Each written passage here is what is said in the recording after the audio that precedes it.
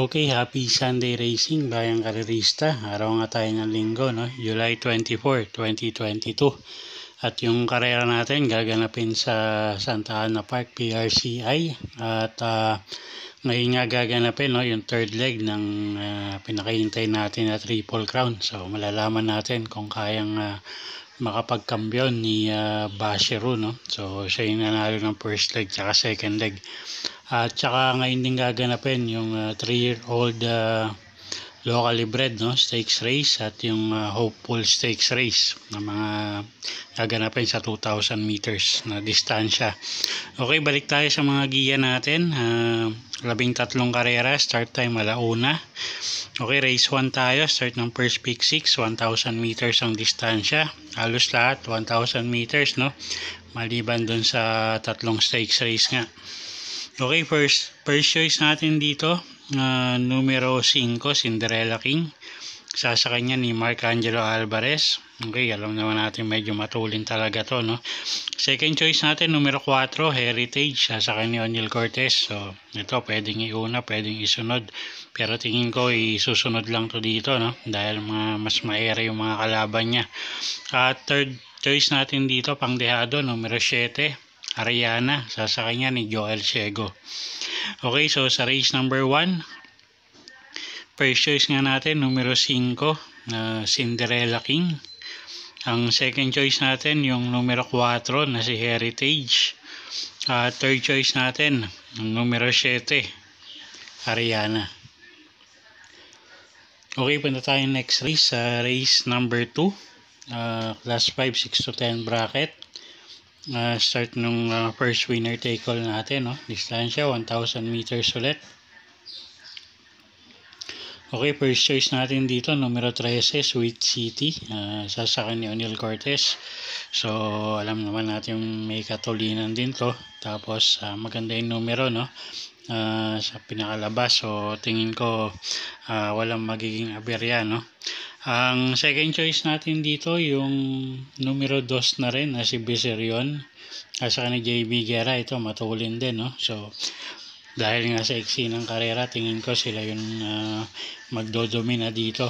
Ang pangdehado natin, no? Uh, numero 3, Greatest Joy, sa kanya ni uh, FM Raquel. Ayan, pwedeng isunod yan, no? At uh, may isang biglayang kabayo na yan. Okay, so sa race 2, first choice, numero 13, Sweet City. Second choice, numero 2, Biserion. At third choice, numero 3, Greatest Joy. Okay, race 3 tayo. Uh, class 5, 6 to 10 bracket ulit, no? Uh, ah, 1,000 meters ang distansya. Start ng first pick 5. First choice natin dito, numero 9, Fortress. Sasakan ni uh, Lester F. Desus. So, galing sa pinakalabas na numero. At uh, may angkin tulin din. So, uh, tingin ko uh, malaki pag-asa ng numero 9 na si Fortress. Second choice natin yung dibandera na rin na numero 2, Kipitaki. Sasakay ni FM Raquel Jr. At uh, yun nga, uh, baka mauna no, sa balya. At uh, tingin ko, breaks of the game, yung magdadala rito kung sino mauuna. At kuha tayong pangdehado, no, numero 1, Wild Act sa kanya ni CS Pare Jr. Okay, so sa race 3, first choice numero 9, Fortress. Second choice numero 2, Kipitaki. At third choice natin, numero 1, Wild Act. Okay, race 4 tayo. So, ito na yung 3-year-old uh, locally bred uh, stakes race, no? Start ng second winner take all. Distansya natin dito, 2,000 meters. Okay, first choice natin dito yung numero uh, ah, 3 na si Loria Tissimo. So, kay Bia Bobo yung hinete. So, tingin ko uh, dominado niya tong grupong to, no? At uh, isang deremating kabayo. So, angkop yung distansya na 2,000 meters. Ang second choice natin yung numero 1 na rin. Yung maganda yung kinikilos ng mga huling takbo, no? full combat order. Sasaka ni RM Garcia. Nakailang panalo na rin to, no? So, in tip-top shape. Siya na rin tingin ko yung magiging kalaban. Okay, so sa race 4, first choice, numero 3, Gloriatissimo. Second choice, numero 1, full combat order. Okay, race 5 tayo. Uh, class 4, 16 to 21 bracket. 1,000 meters ang distansya. Start ng second peak 5. Okay, first choice natin dito, no? numero 7, couple entering uh, Megan Maxine at si uh, Nosen Yangyana. So itong dalawang to pwedeng isabay no at uh, uh, may biglaang remate rin to. Uh, si Megan Maxine pwedeng iuna yan no. So sila yung first choice natin. Ang second choice natin yung numero 12 na si High Honors. Uh, isa rin di bandera no. O'Neal Cortez ang sasakay. At third choice natin, pangdehado, numero 6, keynote speaker. Sasakay niya ni uh, Jeff Bakaykay. Okay, so sa race number 5, first choice nga natin, um, numero 7, couple entering uh, Megan Maxine at Nosen Yangyana. Second choice, numero 12, High Honors. At third choice, numero 6, keynote speaker. Okay, race 6 tayo. Uh, hopeful. Uh, 2022 Piracom Hopeful Stakes Race. No? 2,000 meters sa uh, start ng second pick 6. Okay, first choice natin dito, no, yung galing sa panalo na numero 4, Peiros Peri. Ang ganda ng huling panalo niyan, impresibo. At uh, tingin ko kaya pang mag-aumento ni Kabayo, no. At uh, maganda naman yung lahi. So, tingin ko may angking boat itong kabayong to. Second choice na rin natin, yung numero 1, galing din sa panalong Port Salt. Sa kanya ni uh, Jeff Sarate. Okay, so sa race number 6, uh, first choice nga natin, yung numero 4 na si Peiros Peiry. Ang second choice natin, yung numero 1, Port Salt. Okay, punta tayong next race, uh, race number 7 na class 4, 34 to 39 bracket. Distansya 1,000 meters uh, start ng third, winner take all. Okay, first choice natin dito, no? Uh, numero 4, Forest Gump sasakay ni Mark Angelo Alvarez. So, tingin ko kayang mauna ni Kabayo, no? Uh, walang masyadong uh, maere dito, kundi si Great Britain lang. So, tingin ko kayang unahan to ni Forrest Gump. Ang second choice natin, yung numero 6 na si Lucky Nono, sasakay ni JB Hernandez. Impresibo yung uling panalo niya, no? na isabay at uh, rumimati sa home stretch. So, tingin ko siya na rin magiging kalaban dito. Okay, so sa race 7, first choice numero 4, Forrest Gump. Second choice numero 6, Lucky No No. Okay, race 8 tayo. Uh, class 5-5, lowest group tayo. Distansya 1,000 meters. Start ng third, pick 6. Okay, magulong karera, anybody's race, no? First choice natin na uh, numero 5, My Dear Magnolia, Jan Alvin Guse, ang inete. So, pag naon na to, may kalalagyan sila rito, no? At uh, yun nga, Jan Alvin Guse pa yung inete. Ang second choice natin, yung numero 6, na si Wishful Thinking, sa kanya PJA Guse. So, kahit maiksi yung distansya, tingin ko pag nilaban to, no? Kayang isabay na si Kabayo. Medyo talagang mababa na sa grupo to. At pangdehado natin dito, no? Uh, numero 9, Matinlock Island, sasakay ni CS Pare Jr. Okay, so sa race 8, first choice nga natin, numero 5, My Dear Magnolia. Second choice, numero 6, Wishful Thinking. At pangdehado natin, numero 9, Matinlock Island. Okay, race number 9 tayo. Uh, ito na yung third leg ng Triple Crown uh, Stakes race, no?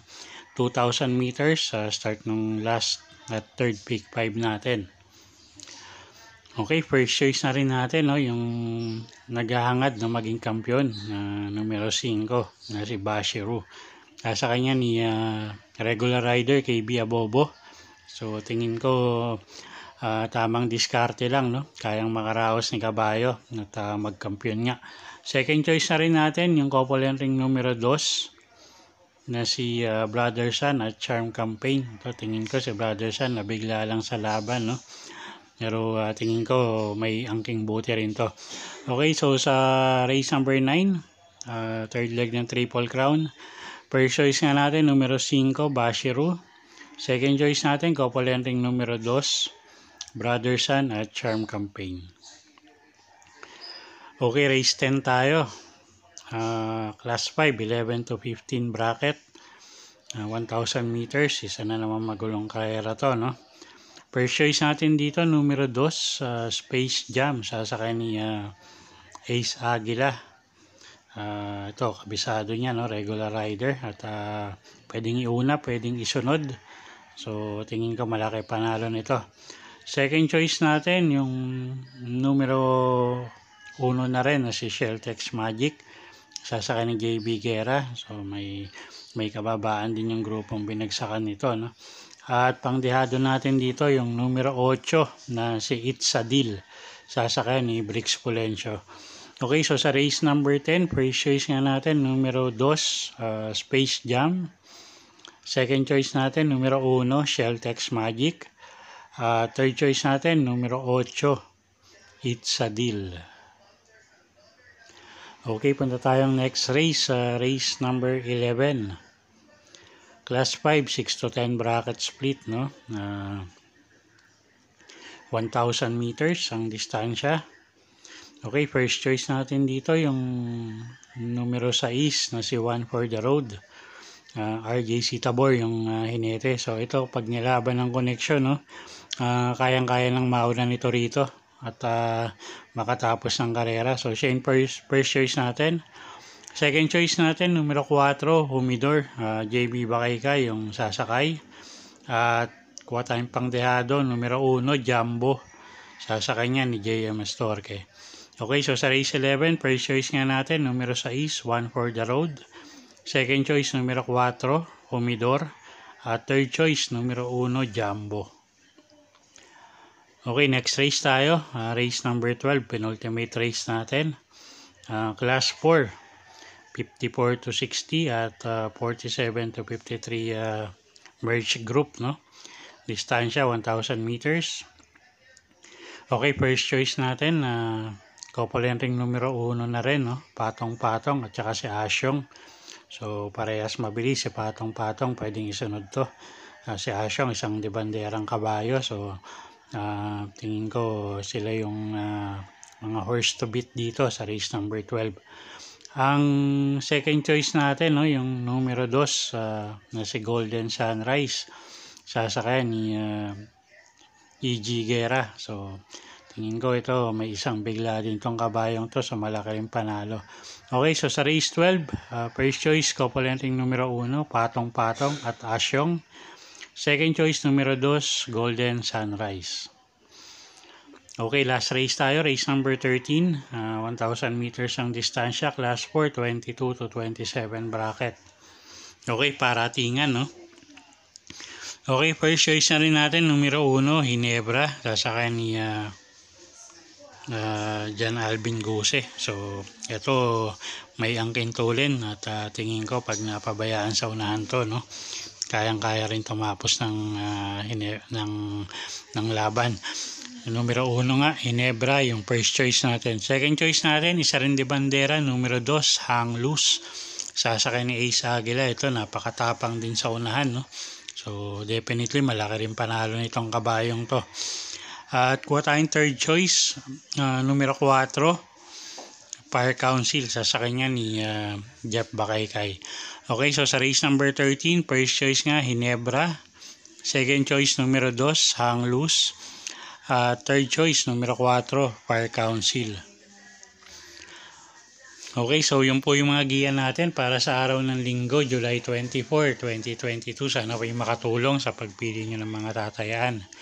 Nulit ko po, ito po yung mga giya lamang no? at gabay. Uh, kayo pa rin masusunod kung saan nyo itataya yung pinagpaguran yung pera.